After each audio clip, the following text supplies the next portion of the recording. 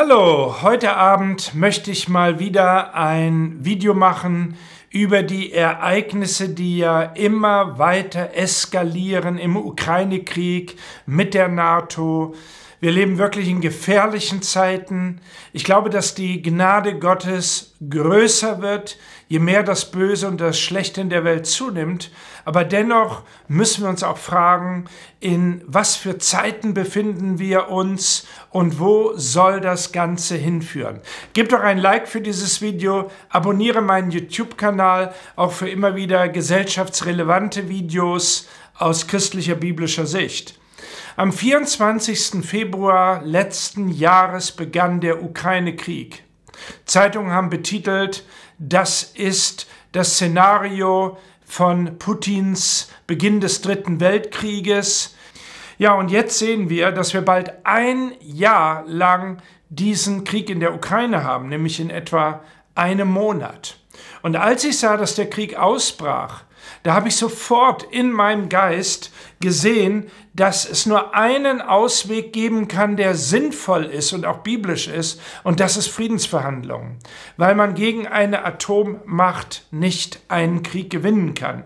Und das war mir sofort an dem Tag klar, und ich habe an dem Tag, auch einen Tag später noch Videos darüber gedreht, wurde sehr deswegen dann auch angegriffen, äh, dass ich gesagt habe, was Jesus in Lukas Kapitel 14, ihr könnt das nachlesen, Lukas 14, ähm, 31 sagt, welcher König, der auszieht, um sich mit einem anderen König in den Krieg einzulassen, setzt sich nicht vorher hin, um wirklich zu ratschlagen, ob er imstande ist, dem mit 10.000 entgegenzutreten, der mit 20.000 anrückt. Wenn aber nicht, so sendet er, während der Feind noch fern ist, und bittet um die Friedensbedingungen. Nun ist Russland die wesentlich stärkere Macht als die Ukraine, ist die größte Atommacht der Welt. Ja? Und das, was wir hier heute sehen, sind absolut absurde Ziele der USA, der NATO, auch Deutschlands, nämlich zu sagen, dass der Krieg erst dann beendet sein kann, wenn Russland völlig aus der Ukraine rausgeworfen wurde, inklusive der Krim. Ja?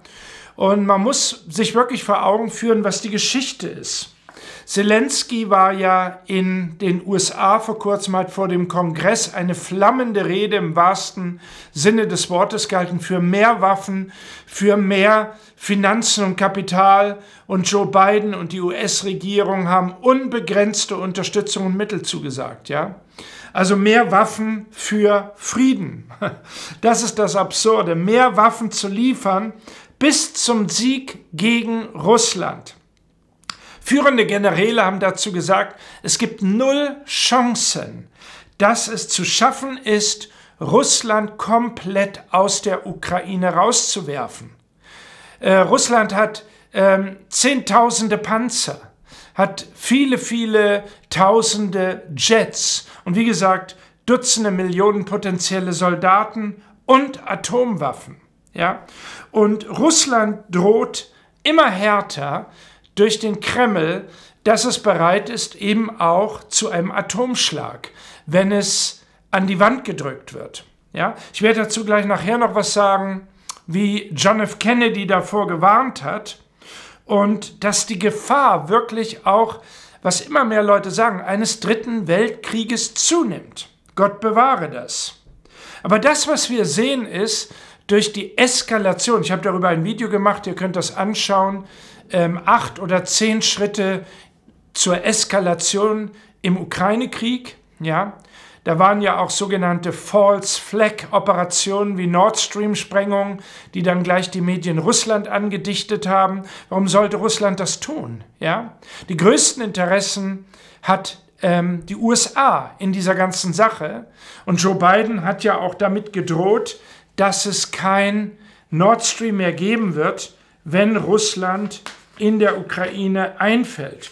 Hier habe ich das Zitat ja von Joe Biden. Nord Stream wird beendet werden mit allen Mitteln, wenn Russland in die Ukraine einfällt. Und das ist ja nun geschehen. Also die westliche Welt, die NATO ist gefangen in der Eskalationsspirale und unsere Bundesregierung ist so irrsinnig und verrückt, dass sie das nicht durchschauen, dass das unserem Volk schadet, unserer Wirtschaft und Europa schadet. Ja? Es gibt nur einen einzigen Weg, aus der Sache rauszukommen, und das ist Friedensverhandlungen mit Russland. Interessant ist, dass Zelensky Friedensverhandlungen per Dekret verboten hat. Ich weiß nicht, ob ihr es wisst, mit Russland. Er hat sie verboten, bis Russland komplett aus der Ukraine raus ist und die Ukraine vollständig befreit ist, inklusive der vor sechs Jahren eingenommenen Krimgebiete. Nun muss man verstehen, dass geopolitisch für Russland der Zugang der Schwarzmeerflotte, ihrer Kriegsflotte zum Schwarzen Meer und damit äh, die Ostukraine und die Krim absolut geopolitisch von höchster Bedeutung sind. Genauso wie das für die USA eben ähm, die ganze Region ähm, um Kuba ist und um die USA herum, dort im, im Atlantik oder auch im Pazifik eben die vorherrschende Macht zu sein. Und Russland hat immer wieder gesagt, dass die Ukraine niemals in die NATO eintreten darf. Dann wurde die Regierung 2014 gestürzt, die pro-russisch war und ein Präsident da war, der sagte, äh, wir wollen die Ukraine neutral haben. Und diese Regierung wurde gestürzt mit einem pro-amerikanischen Präsidenten ersetzt. Ja? Und Zelensky redet ja nur davon, in die NATO einzutreten. Jetzt müsste man sich mal fragen, wie die USA sich fühlen würde, wenn in Kanada, in Mexiko oder auch in Kuba Atomwaffen oder auch ähm, Stützpunkte der Russen aufgerichtet werden würden und die USA sozusagen umzingelt wäre von russischen Truppen. Das wäre absurd und undenkbar. Aber genau so, denke ich, muss man sich hineinversetzen, fühlt sich Russland. Ja, als 1989, 90 die Wiedervereinigung kam, unter der Ära Helmut Kohl und Gorbatschow, da hat äh, Hans-Dietrich Genscher, unser Außenminister, und alle Politiker haben gesagt, die Sowjetunion wird aufgelöst unter der Voraussetzung, dass die NATO keinen Kilometer weiter nach Osten marschiert, dass die NATO nicht nach Osten erweitert wird. Das war der damalige Beschluss. Und ich sage euch, ihr Lieben, mir wird immer deutlicher, dass gesprochene Verbrechen auch eine Ungerechtigkeit und Sünde vor Gott sind. Ja, gebrochene Versprechen sind sehr ernst in der Bibel und das bringt eben auch Flüche mit sich. Darüber müsste man mal nachdenken. Damals hatte die NATO 14 Mitgliedstaaten, heute sind es 30. Ja? Und jetzt sind ja auch weitere ähm, Staaten, die dazukommen wollen, wie Finnland, Schweden. Ja? Und das bedroht natürlich Russland und bringt die Sache zur Eskalation. John F. Kennedy hat mal gewarnt, das fand ich sehr interessant, ich bringe jetzt das Zitat, es darf nie, niemals der Fall eintreten, dass eine Atommacht, die Russland ja ist, gezwungen wird, eine geopolitisch wichtige Stellung aufzugeben und dadurch gedemütigt zu werden, sodass die einzige Lösung nur noch in der Verteidigung mit einem nuklearen Schlag ist. Und ich denke, das sind bedenkenswerte Worte, dass man eine Atommacht niemals in die Enge treiben darf, dass sie geopolitisch wichtige Ziele aufgeben muss. Und genau darauf steuern wir zu. Genau da in dieser Situation ist Russland. Und das, was wir jetzt erleben, ist ein reiner Stellungskrieg hin und her. Ich habe gedacht, wie im Ersten Weltkrieg, wo es 10 Millionen Tote gab und die Front bewegte sich immer nur einige Kilometer hin und her und es starben Millionen Menschen in Schützengräben. Und das ist, was wir jetzt erleben. Ja? Russland hat immer wieder Friedensverhandlungen angeboten. Was wären die Friedensbedingungen Russlands? Die sind sehr einfach. Dass die Krim und jetzt die Ostukraine mit vier besetzten Gebieten russisch bleibt. Ja, viele sagen dann, ja, Wahnsinn, man kann den Russen nicht vertrauen und das geht doch gar nicht, ja. Aber die Frage ist, um Frieden zu schaffen, dass nicht noch Millionen weitere Ukrainer und auch Russen sterben, ist das eine Möglichkeit zu verhandeln. Und dass die Ukraine, das ist der zweite äh, Friedensbedingung, die Russland stellt, niemals NATO-Mitglied wird. Und das ist eine Sache, die man verhandeln kann. Und ich glaube, das wäre sehr, sehr wertvoll, wertvoller als immer mehr Kampfpanzer, äh, Jets, Flugabwehrsysteme und auch Schiffe zu liefern, Kriegsschiffe, wie das Zelensky und die Ukraine mittlerweile offen fordern. Früher hat die Friedensbewegung den Slogan gehabt, Frieden schaffen ohne Waffen. Erinnert ihr euch daran? Wo sind diese Stimmen heute? Die ganze Mainstream-Presse und unsere Regierung und die NATO reden einen ganz anderen Slogan. Sie sagen, wir müssen mehr Waffen liefern, unbegrenzt Waffen liefern, immer mehr Waffen für einen schnelleren Frieden. Also heute ist der Slogan nicht Frieden schaffen ohne Waffen, heute ist der Slogan Frieden schaffen durch immer mehr Bewaffnung der Ukraine. Und da kann man natürlich, wie die Welt gesagt hat, wirklich sagen, die NATO, der Westen ist gefangen in einer Eskalationsspirale. Wo soll das hinführen? Ich glaube, dass das Lüge und Verblendung ist mittlerweile des Westens.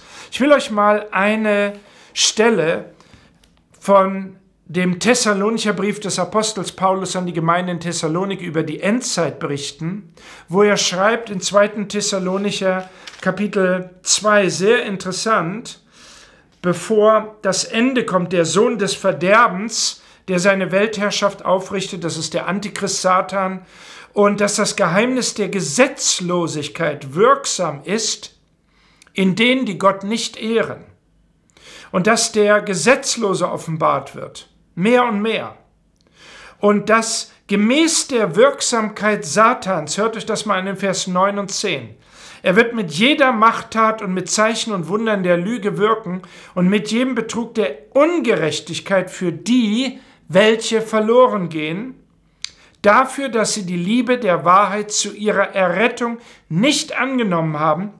Und deshalb sendet Gott, jetzt kommt Vers 11 und 12, deshalb sendet Gott ihnen eine wirksame Kraft des Irrtums, damit sie der Lüge glauben, damit alle gerichtet werden, die der Wahrheit nicht geglaubt, sondern Wohlgefallen gefunden haben an der Ungerechtigkeit. Und ich habe in den letzten Tagen darüber nachgedacht, wo man immer mehr Horrormeldungen hört, wie der Kampf immer brutaler wird, immer nutzloser, immer sinnloser, immer mehr Waffen geliefert werden und die NATO immer mehr in den Krieg gezogen wird. Die FAZ hat auch selbst eine Titelzeile gehabt und einen Artikel, dass Zelensky die NATO immer mehr in den Krieg gegen Russland zieht. Und hier kann eine Macht der Verblendung wirken. Weil Gott Gericht bringt über Korruption, über Bestechlichkeit, was wir auch sehen in der Geschichte der USA, in der Geschichte ungerechter Kriege, die geführt wurden von der NATO, ja, und auch eben von Dekadenz. Interessanterweise noch ein Gedankenpunkt, nennt Russland diesen Angriffskrieg auf die Ukraine ein Zivilisationskrieg gegen den, die unchristlichen, liberalen Mächte des Westens. Und sie sagen, das ist ein Kampf für christliche abendländische Werte gegen die liberale Auflösung aller Werte durch LGBT, Gender-Wahnsinn, Gender-Mainstreaming und dass eben hier die alte russische Zivilisation von tausend Jahren bewahrt und geschützt werden muss vor Auflösung aller Werte. Nun, ich sage ganz, ganz deutlich, dass das keinerlei Rechtfertigung für den Angriffskrieg von Putin ist und für alle Kriegsverbrechen, die hier geschehen. Aber das sind die Begründungen, die übrigens auch Präsident Xi von China hat und auch Indien, dass sie einen Zivilisationskrieg führen gegen den dekadenten Westen. Und deswegen wird die BRICS-Allianz immer stärker, bestehend aus Brasilien, Indien, China, Südafrika, wo jetzt weitere afrikanische Länder und weitere auch Länder aus dem Nahen Osten BRICS beitreten wollen. Also es wird immer mehr ein eskalierender Krieg zwischen Ost und West. Und es gab Kreml-Sprecher, jetzt führende Sprecher, die das ähm, auf YouTube und in öffentlichen Reden gesagt haben, dass es gerechtfertigt wäre, den Dekadenten mehr und mehr im christlichen, liberalen Werteverfall begriffenen Westen bis hin zu einem Atomschlag anzugreifen. Ihr habt richtig gehört. Also sie sagen es gerechtfertigt. Das ist natürlich absoluter Irrsinn auf der Seite Russlands. Ja? Es ist ein Irrsinn auf Ost- und Westseite. Und ich glaube, es ist eine unglaubliche Kraft des Irrtums, Lügen zu glauben, die hier wirken, auf beiden Seiten. Lass mich noch mal sehen, was ich hier noch habe. Ja?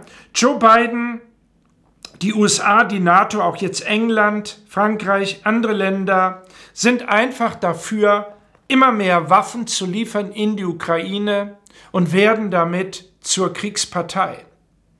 Sehr oft wird gesagt, ja, es geht doch um die Demokratie in der Ukraine. Und ich glaube, das ist absolut absurd. Wenn wir sehen, wie die Maidan-Revolution war, der Sturz der Regierung, auch mit der Hilfe der USA und wie Regierungen dort gestürzt wurden und wie die USA ihre Interessen mit Milliarden durch Hunter Biden und andere Affären in der Ukraine durchgesetzt hat. Auch die Medienverbote, die es in der Ukraine jetzt gibt, also dass alle alternativen Pressemedien und Stimmen von Zelensky verboten sind. Also da geht es nicht um Demokratie. Es geht auch nicht um biblische christliche Werte der NATO oder des Westens, sondern es geht um Geld und Macht. Was denkt ihr? Ich glaube, das sieht man sehr, sehr deutlich.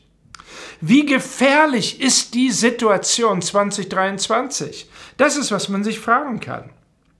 Clausewitz, ich habe den früher gelesen, Clausewitz war ein preußischer äh, Militärexperte, durch den auch bis heute äh, Militärs ausgebildet wurden, Generäle und Offiziere, auch in den USA.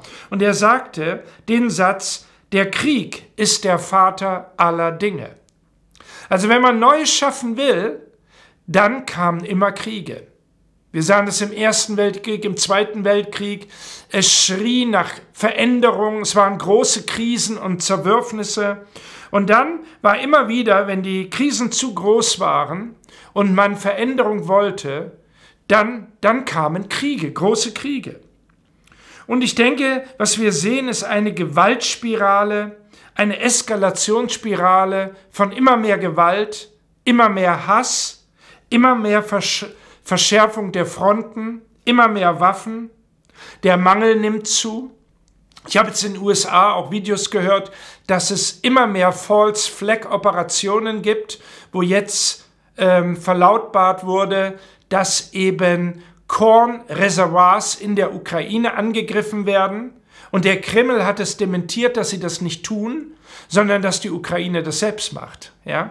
Und das sind Sachen, die sind in den internationalen Kanälen äh, bekannt. Und man kann nur hoffen, weil das bekannt ist, dass die Ukraine das nicht tut. Und immer wieder wird ja auch gesagt, ja, das sind äh, falsche Flaggen, false flag, da werden Gebäude angegriffen, werden Dinge angegriffen. Man hat gesagt, im Krieg stirbt die Wahrheit zuerst und immer mehr regiert die Lüge. Und man weiß nicht, wo die Ukraine auch eigene Dinge angreift und Gebäude dem Erdboden gleichmacht und dann sagt, schaut, äh, wie brutal der Krieg von Russland gegen uns ist. Das Schlimme ist, man kann es nicht mehr durchschauen, man kann es nicht mehr wissen. Und der einzige Ausweg ist, Friedensbedingungen mit Russland auszuhandeln. Schreibt doch eure Kommentare, was ihr denkt. Glaubt ihr, dass immer mehr Waffen, immer mehr Gewalt Frieden schaffen kann? Das ist doch absolut absurd. Die Bibel sagt, was der Mensch sät, das wird er ernten. Wenn wir Liebe und Frieden und Wohlwollen und Verständnis sehen, auch Verständnis mit Russland für ihre geopolitischen Interessen gegenüber einer die letzten 30 Jahre nur in Expansion begriffenen NATO. Ich sehe das mittlerweile wirklich ausgewogen. Ich glaube nicht, dass es eine schuldige Seite gibt, sondern dass es eine Teilschuld auf beiden Seiten gibt. Aber wenn beide Seiten nicht an den Tisch kommen, wie Jesus in Lukas 14 gesagt hat, und Friedensbedingungen verhandeln, dann wird es gemäß dem Gesetz von Saat und Ernte so weit eskalieren, dass irgendwann Russland sagt, wir haben kein anderes Mittel mehr, als zu sehr schweren Waffen zu greifen, um den Westen und die NATO zu schocken. Und das kann im Dritten Weltkrieg in einem Atomschlag münden. Der Gedanke, dass Russland besiegt werden soll, ist absolut Irrsinn. Von wem ist das gewollt? Ich kann mir vorstellen, dass es von Davos gewollt ist. Sie haben ja gerade getagt und auch dort ging es um die neue Weltordnung. Hier sehen wir ein Buch über die Saat von Klaus Schwab, die Young Global Leaders, die seit 30 Jahren trainiert werden. Da gehören fast alle Staatspräsidenten, auch Außenminister zu, auch unsere geniale Annalena Baerbock, die auch immer mehr Waffen schicken will, unsere alte Bundeskanzlerin, ja, Macron, alles was Rang und Namen hat, Trudeau von Kanada, ja, sind durch das Young Global Leaders Programm gegangen. Und es geht um den großen Reset, den großen Umbruch. Wozu soll der große Umbruch sein, wenn es nicht um eine Transformation der globalen Ordnung ist? ja, eine Welteinheitswährung, Welteinheitsregierung, ja, offene Grenzen. Das ist ja, wofür ähm, die Ukraine eintritt und wofür die NATO eintritt. William Engdahl, ein bekannter Journalist, schreibt hier, der Krieg in der Ukraine, ja, der Countdown zu einem geplanten Krieg. Ja, und Amerikas Hardliner, lese ich auf der Rückseite, heizen den Ukraine-Krieg immer weiter an. Und das sind brandgefährliche Tendenzen. Wir können nur beten, dass Gottes Gnade und Gottes Kraft dieser Sache ein Ende schafft, dass es zu einem Frieden kommt zwischen NATO und Russland und dass man einen Kompromiss schließt. Angela Merkel sagte einmal, Politik ist das Geschäft der Kompromisse. Aber diese Bereitschaft zu Kompromissen scheint gestorben zu sein. Ja, also ich bin dadurch schockiert und wir sind in einer sehr gefährlichen Situation, wie eben John F. Kennedy sagte, wo eine Atommacht wie Russland gedemütigt werden soll, in die Knie gezwungen werden soll und das Gesicht verliert, was so eine Atommacht einfach nicht zulassen wird. Ja, sind das Sturmwolken des Gerichts? Sind es Sturmwolken über einem dekadenten Westen, der die zehn Gebote Gottes mit Füßen tritt, der sagt nicht mehr Mann und Frau, wie wir in 1. Mose Kapitel 2 lesen, sind Familie, um Kinder zu kriegen, Mann und Frau, sondern eben auch Mann mit Mann, Frau mit Frau. Ihr könnt in Römer Kapitel 1 lesen, wie Gott sie dahin gibt die Ungerechtigkeit und Gottlosigkeit ausüben, in einen verwirrten Sinn, Schande zu betreiben. Und dann sagt der Apostel Paulus, wegen dieser Dinge kommt das, Gerecht Gott, das Gericht Gottes über alle Gottlosigkeit und Ungerechtigkeit der Menschen, die die Wahrheit durch Lüge niederhalten. Also lasst uns beten, dass 2023 Gott mit seinen Engeln eingreift und dass dieses Gespenst, ja, so nannte Karl Marx den Kommunismus, dass dieses Gespenst des Dritten Weltkrieges wirklich abgewandt wird, dass ein Stopp ist in Jesu Namen und dass die USA und die NATO zur Besinnung kommen und an den Tisch der Friedensverhandlungen mit Russland gehen und sagen, die Ukraine wird nie in die NATO eintreten und ihr könnt die Krim und die gewonnenen, annektierten Gebiete behalten, dafür aber Frieden mit in Europa. Viele sagen dann, ja, dann wird äh, Russland Polen angreifen und andere Länder angreifen. Und viele Militärexperten sagen, das ist gar nicht Russlands geopolitisches Ziel, Polen und die Baltics. Und sie haben auch nicht mehr die militärische konventionelle Kraft dazu. Ihr Ziel ist die Schwarzmeerflotte zu sichern.